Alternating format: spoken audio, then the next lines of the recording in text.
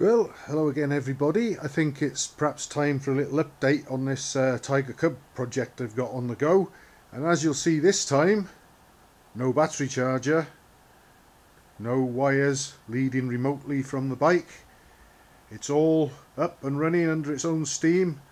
Uh, got it going straight off the alternator into a combined regulator rectifier which we'll talk about some more in a minute. And um, it's starting and running nicely uh, subject to me trying it out up and down the road of course. So just going to put the camera down for a moment and hopefully demonstrate that it starts and runs nicely and then I'm going to talk some more about what I've done here. So I'll put the camera down there, hopefully we can see the bike and I'll just try and start it up.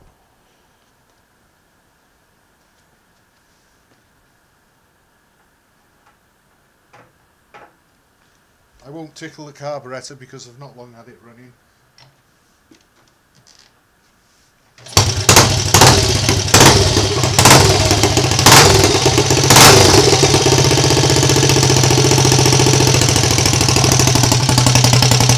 There's no battery on that bike. I know I've got a battery box there, but the uh, the sum total of the wiring is what you see here. No more, no less. Uh, plug lead obviously going to the spark plug. So it starts the first kick there.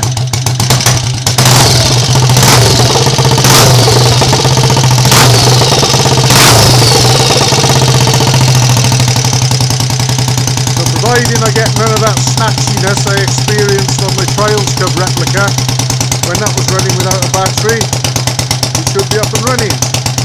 Now, I haven't even got a switch to switch this off at the moment, so I'm going to suddenly grab a handful of throttle and swamp it with air. There we are. Now then, um, I'll turn the fuel off while I remember, and then uh, we'll discuss what I've done regulator rectifier wise. Now, it so happens that I had one of these laying around to hand which I tried on the Trials Cub replica probably a year or so ago. I may have even mentioned it in uh, one of my videos when I was trying to sort out the weird things that that bike was doing right up until the point when I put a battery on it and then after that everything was fine so I left the Zener diode and the rectifier that were original 1960s 1970s sort of things on there and it's working fine. But um, I was left with one of these which I thought was faulty because what it did on the Trials Cub replica when I connected it up to the alternator I could get output from it but it seemed to be cutting in too early or at too low a voltage and the bulb I was using to test things was only lighting fairly dimly and I thought oh, I got a faulty regulator rectifier.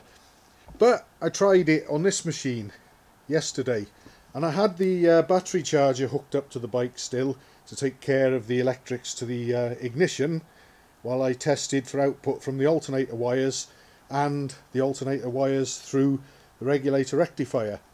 And again the light came on but it was dim the regulator rectifier was obviously cutting in because at tick over the light was bright and flickering when I revved it up a bit it dimmed and steadied but it seemed a little bit too dim for my liking. So in my infinite wisdom, I bought another one, brand new, which arrived today. This is it. And I wired this one in, and guess what? The same thing happened. So I'd also ordered this. This is not an electronic ignition. This is another regulator rectifier.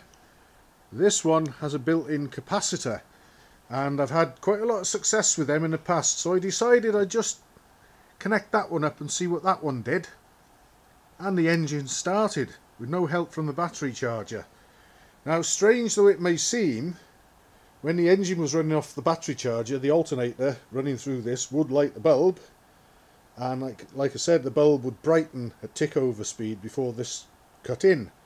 But try as I might I couldn't get a cough out of it on the kickstart nothing happening.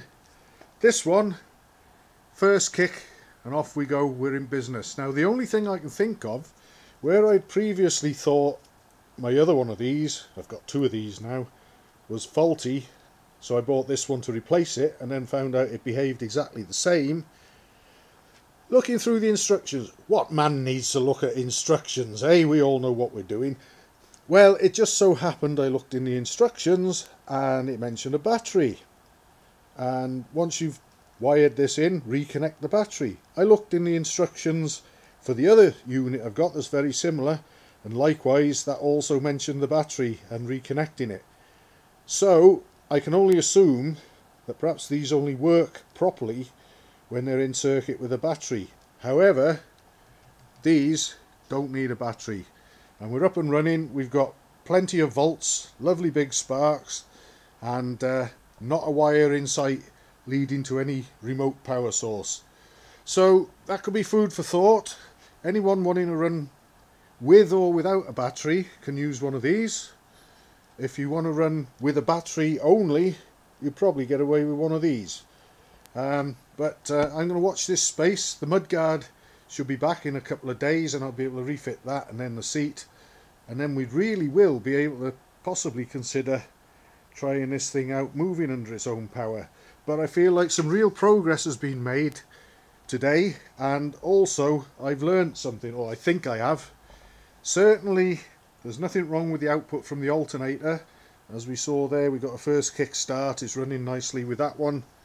With this one, and no battery, no chance. But I, I've changed my mind now that I opened this one today, brand new out the box, and it did exactly the same as what I thought the faulty one did. Um, but obviously, I'd misread the situation, and they must need a battery to work in conjunction with them. But the Sports Cub, Scrambles Cub, whatever you want to call it, Cub, has inched even closer to the day where we'll go roaring up the lane and unleash that full 14 and a half brake horsepower on the world. And just in case anybody wants to know, I know that on the other side of the pond there's some guys working on something very similar.